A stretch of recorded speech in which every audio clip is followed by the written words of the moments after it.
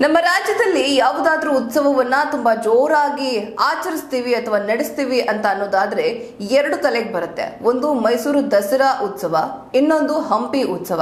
ಇದೀಗ ಉತ್ತರ ಕರ್ನಾಟಕದಲ್ಲಿ ಯಾವುದೇ ಈ ತರಹದ ಉತ್ಸವಗಳು ನಡೀತಾ ಇರಲಿಲ್ಲ. ಹೀಗಾಗಿ ಈ ಬಾರಿ ನಡೆಯುವಂತಹ ಕಿತ್ತೂರು ಉತ್ಸವವನ್ನೇ ವಿಜೃಂಭಣೆಯಿಂದ ನಡೆಸೋದಿಕ್ಕೆ ಅಂತ ಸರ್ಕಾರ ಡಿಸೈಡ್ ಮಾಡಿದ್ಯಂತೆ.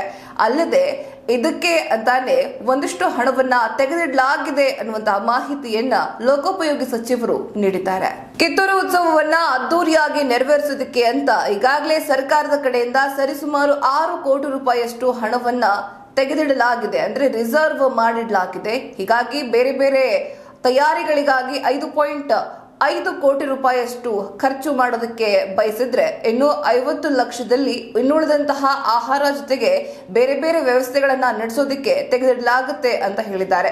ಅಲ್ಲದೆ ಹೊರ ರಾಜ್ಯಗಳಿಂದ ಅಥವಾ ಹೊರ ಜಿಲ್ಲೆಗಳಿಂದಲೂ ಕೂಡ ಕಲಾವಿದರನ್ನ ಕರೆಸಿ, ಕಲಾ ತಂಡಗಳನ್ನ ಕರೆಸಿ ಹಂಪಿ ಮಾದರಿಯಲ್ಲಿ ಈ ಬಾರಿ ಹಂಪಿ ಉತ್ಸವವನ್ನ ನಡೆಸೋದಿಕ್ಕೆ ನಿರ್ಧರಿಸಲಾಗಿದೆ ಎಂದು ಲೋಕೋಪಯೋಗಿ ಸಚಿವ ಸತೀಶ್ ಜಾರಕಿಹೊಳಿ ಅವರು ಮಾಹಿತಿಯನ್ನ ಕೊಟ್ಟಿದ್ದಾರೆ.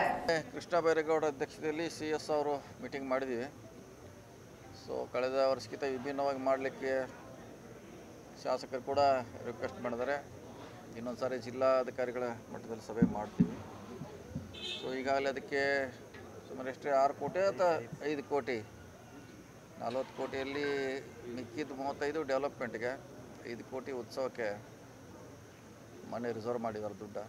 ಸೊ ಇನ್ನೇನಿದ್ರು ಮುಂದಿನ ತಯಾರಿ ಮಾಡಬೇಕಷ್ಟೇ ಅವರು ಹೇಳಿದೆ ಬೇರೆ ಬೇರೆ ಹೊರಗಿನವ್ರು ಕೂಡ ಕರೆಸ್ತೀವಿ.